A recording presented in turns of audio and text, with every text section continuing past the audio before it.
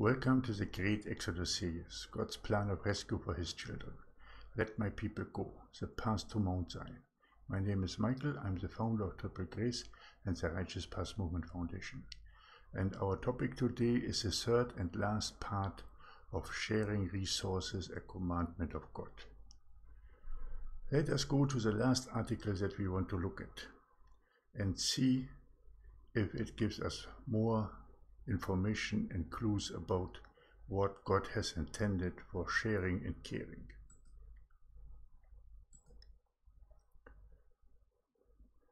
Bible verses about giving to the poor. Scripture tells us that it is always more blessed to give than receive. Christians should always give to the homeless and needy. God loves a cheerful giver. Christians are to be kind hearted and loving with everyone even with our enemies. If we have it and a poor man asks for something and we don't help, how is God's love in us? Think about it. We have money to buy our favorite sweets, to rent a DVD, to splurge on things. But when it comes to someone other than ourselves, it becomes a problem. When it comes to other selfishness starts to kick in. We are told to be imitators of Christ. What was Christ thinking only about himself when he died on the cross? No. God has given you the opportunity to be a blessing to someone.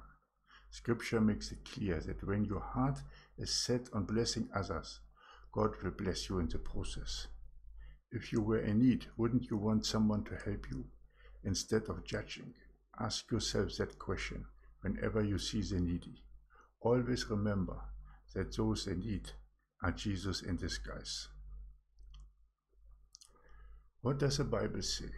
Romans 12:13 Supply the needs of the saints. Extend hospitality to strangers. Hebrews 13:16 Do not neglect to do good and to share what you have, for such sacrifices are pleasing to God. Luke 3:10 to 11 And the people asked him, saying, What shall we do then? He answered and said unto them, He that had two coats, let him impart to him that had none and he that had meat, let him do likewise. Ephesians 4 27 to 28. For anger gives a foothold to the devil. If you are a thief, quit stealing. Instead, use your hands for good hard work and then give generously to others in need. Give to everyone who asks you for something. Don't turn anyone away who wants to borrow something from you. Matthew 5:42 be generous. Proverbs 22 9. Whoever has a bountiful eye will be blessed, for he shares his bread with the poor. Proverbs 19:17 The one who is gracious to the poor lends to the Lord, and the Lord will repay him for his good deed. Luke 8:38 Give and it will be given to you. A large quantity pressed together, shaken down and running over will be put into your lap, because you will be evaluated by the same standard with which you evaluate others. Psalm 41 1 to 3 was a choir director at Psalm of David. Oh, the joys of those who are kind to the poor. The Lord rescues them when they are in trouble. The Lord protects them and keeps them alive. He gives them prosperity in the land and rescues them from their enemies. The Lord nurses them when they are sick and restores them to health. Proverbs 29:7 The righteous considered the cause of the poor, but the wicked regarded not to know it. 1 Timothy 6:17 to 18 Charge them that are rich in this world, that they be not high-minded, nor trust in uncertain riches, but in the living God, who giveth us richly all things to enjoy, that they do good, that they be rich in good works, ready to distribute, willing to communicate. Blessed Psalm 112, 5 to 7. Good comes to those who lend money generously and conduct their business fairly. Acts 20 to 35. It is more blessed to give than to receive. Psalm 37, 26. The godly always give generously loans to others, and their children are a blessing. Proverbs 11, 25 to 27. But blessing shall be upon the head of him that selleth it, He that diligently seeketh good procured favor. Psalm 112 9. Their righteousness endures forever. Their horn will be lifted up in honor. They have freely scattered their gifts to the poor. And there are many more others on this article. But I want to come down to the reminder here. In Deuteronomy 15 7 to 8. If there should be a poor man among your relatives in one of the cities of the land that the Lord your God is about to give you, don't be hard hearted or tight fisted toward your poor relative. Instead, be sure to open your hand to him and lend him enough to lessen his needs. And then we come to the examples. And very important, listen to this. Matthew 19:21. Jesus said to him, If you would be perfect, go, sell what you possess and give it to the poor, and you will have treasures in heaven, and come follow me. Acts 2:44 following, and the believers met together in one place and shared everything they had. They sold their property and possession and shared the money with those in need. They worshipped together at the temple each day, met in homes for the Lord's Supper, and shared their meals with great joy and generosity. And then Galatians 2:10. All they asked was that we should continue to remember the poor, the very thing I had been eager to do all along. This is an article that I will link to and you can see for yourself. There are more Bible verses in it.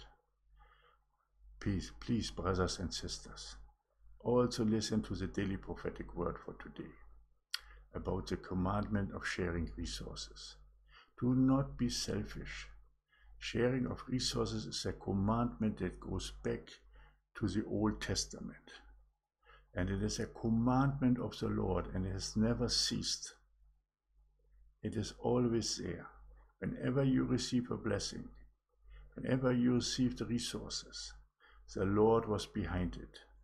And because the Lord is giving you the blessing, you should take a part of it and share it with other people, with the poor, the needy, the children, baby grace, or whatever comes up. The idea of tithing and 10% tithing comes also from this old commandment of the cleaning of the field because it looked like that maybe 10% of the fields were not harvested and it was given to the poor and the strangers and the widows but there's no real Bible verse about tithing. There is one that Abraham gave to the king of Salem 10% of what he has received from, from the war. But that is, I think, the only one. If not, you can correct me about that. Even if tithing is not in the Bible, sharing of resources is. And if we not come together in love, unity, and support and share our resources and support one another, we will not be able to survive the seal tribulation that will start now very soon, most likely from the next months. So come forward, come together in love, unity, and support. Share your resources. If you have a blessing of $1,500, share 500, keep 1,000. You still have a lot of funds but you also have fulfilled the commandment of God to share the resources with the needy, the poor, the suffering, the nameless, and faceless. I will put the link to our donation page at Patreon, where you can support the children in our mission to Cambodia, or where you can support Baby Grace for the post-operational treatment. You can also send us a donation for the ministry there, or you can send us a donation for the ministry to, at our PayPal link that I will also provide in the first pinned comment. Have a look, have an understanding about what it is about sharing and caring and supporting one another. It is love, and Jesus has commanded us brotherly love. There will be a time when you also be in need, and then you will be so grateful if somebody will help you. So do not reject it and say people are beggars or whatever. It is a commandment of the Lord. Go back to the Old Testament in the Bible and see that it is a commandment of the Lord to share your resources. Please watch our daily prophetic word for today to have a greater insight. Thank you that you have listened to this topic.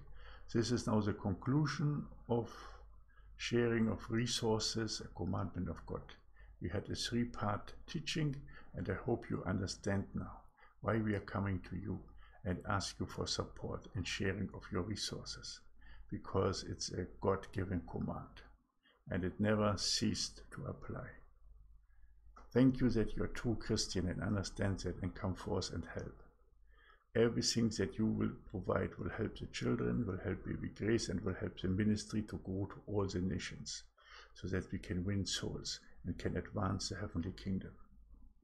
I love you also dearly. Thank you for your help, your donations, and your support. I hope I will see you again tomorrow for the next topic. Have a blessed day. Maranatha.